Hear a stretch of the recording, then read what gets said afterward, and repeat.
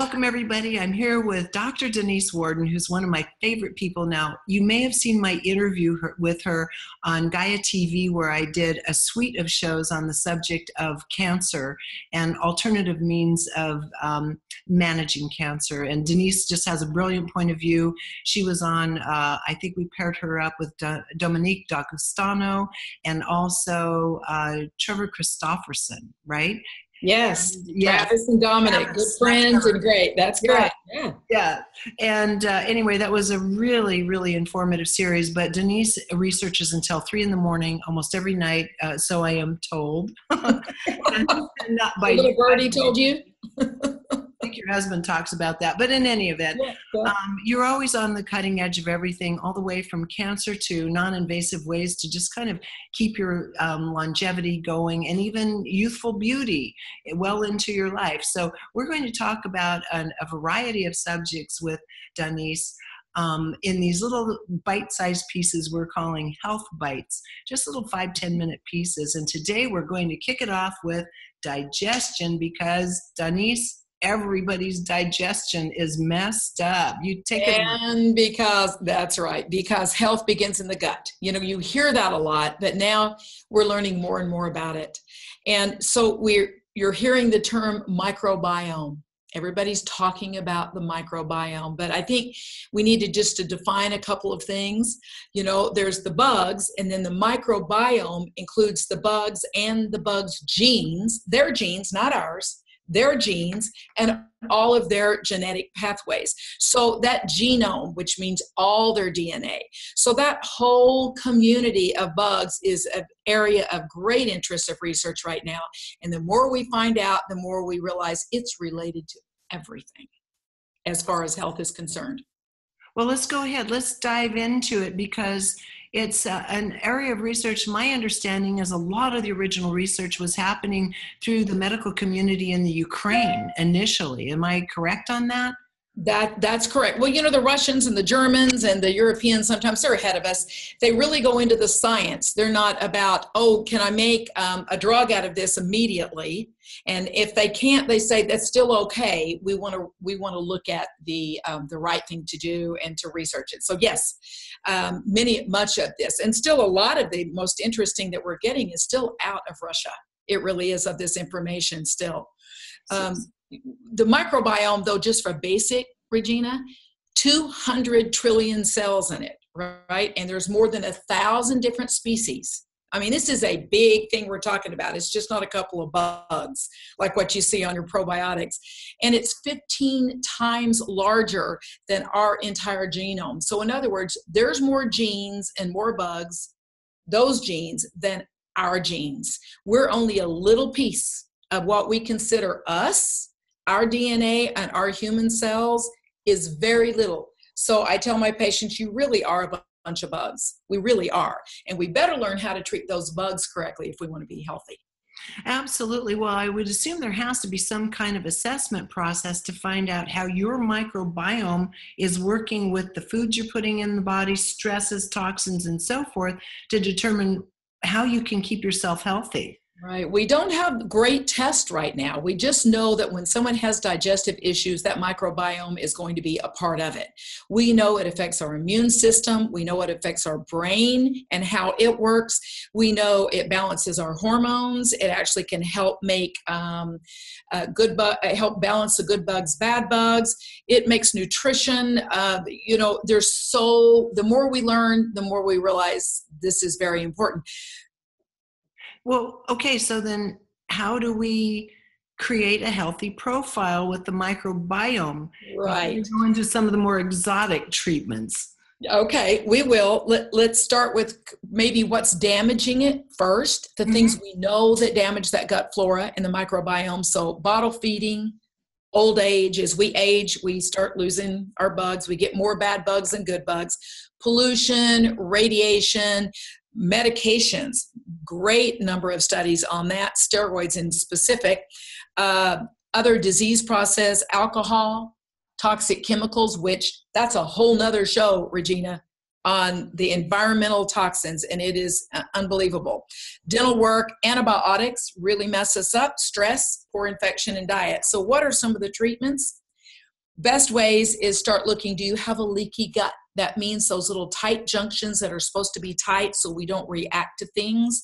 Um, they get damaged by stress by all the other things that i was just talking about and by food sensitivities. Those igg delayed sensitivities that is one of the most important tests I do with patients. I don't care what they're coming in for, what their pathology is, how what you know what's what their issue is. I know that I've got to see what are they putting in their mouth every day that may cause an inflammatory reaction. And that inflammation will upset this balance that we're talking about. So, doing that blood draw for that IgG is very important. I can identify leaky gut from that, and I can identify um, uh, there's other I, secretory IgA test lets us know if we think we have leaky gut as well. Okay, so quick question on that then. With these IgG tests, you're testing more for kind of intake food allergies with that? And what your body has natural antibodies built up to and inflammation processes. How does that factor in, though, if you're swimming in a sea of toxic blood? They has to interface, right? That's that's exactly right. So they cause an inflammatory reactions through a pathway that will eventually affect that whole flora, that whole gut microbiome that we're talking about. So if we have constant intake of something that's causing inflammation, that in the long run is going to affect that microbiome. But the secretory IgA test is a way another way of looking for do we have leaky gut? Do you have that immune response going on? Then we know. Now you're reacting to things like gluten. It doesn't mean you're allergic. It just means those proteins that normally in a healthy gut that you wouldn't be reacting to, that you may be reacting now because it's getting across. Whereas in a normal healthy gut with those tight junctions, it's not. So these tests, the, the IgG and the IgA, are these commonly available? I, I don't hear anyone that goes through HMOs necessarily getting them. Do you have to find a naturopath or how do we go about that? Are they expensive?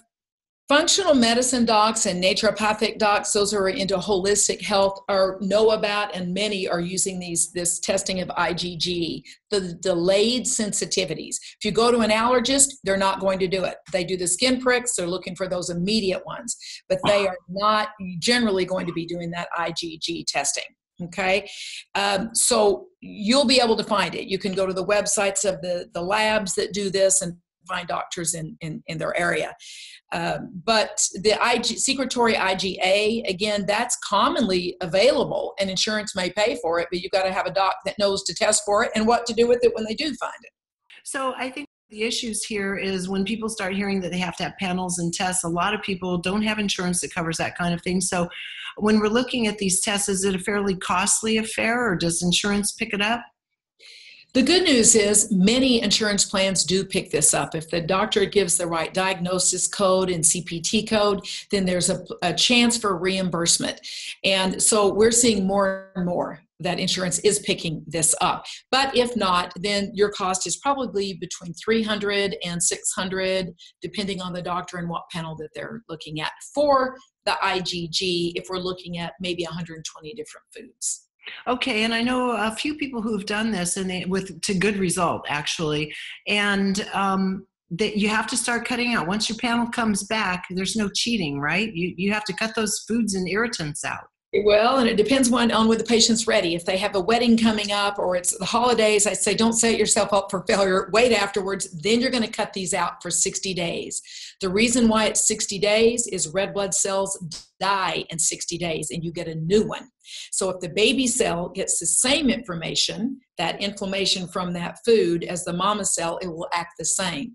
We're trying to trick or fool the immune system into not reacting to these foods anymore. And we're healing up the gut wall lining at the same time. So now we're not reacting like we were. Okay. So, what can we do in the interim? I, I, assume that there are certain everyday practices that will help the health of the, the microbiome. That's correct. Well, reduce stress. that's you know easier said than done right? But good foods uh, you know our sauerkrauts our yogurt or tempeh any of the kefirs those kinds of things. Probiotics great idea to do. Uh, there's a whole concept of prebiotic and probiotic. We won't get into the details but working with a practitioner that knows that will help you. And if not anything else start eating unsweetened yogurt and sauerkraut if you like it. That would be great. Balancing uh, the body in many ways. Um, miso soup is great. So go have fun and do that. And remembering the brain gut connection, I think Regina is another big piece that that we want to just quickly talk on is that the neural 80% or 90% of your neurotransmitters that's your brain chemistry that is made in the gut you will not think clearly. You cannot work clearly. You it's that brain gut connection and it's very big area of research now as well. So it's all connected. Heal the gut heal the mind Absolutely. That's the first thing I find. If I'm eating something that probably would show up as a positive on that panel, which I am going to have done, by the way, um, the first thing it goes is my brain. I have that brain fog. And it, before any of the other physical symptoms happen, it's just that sluggishness. And I'm sure that most of the people watching this can relate to that. So I get what you're talking about. I think it's critical. We need our minds right now, we need our bodies right now. Any final thoughts? Just looking for leaky gut do we have that? We need to fix that up. There's specific supplements that help with that and really help you get to that faster. Otherwise you're trying a lot of different things for your digestion. Digestive enzymes are great if you need them. They work.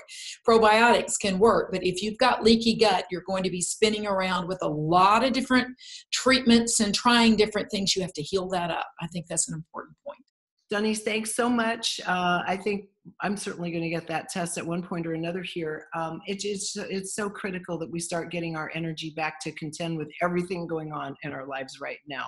So, again, tell us where we can reach you, your website. drworden.com. So, D R W O R D E N.com. Thank you, Regina. Thank you so much. And to everybody, until next time, thank you for joining us here on reginameredith.com.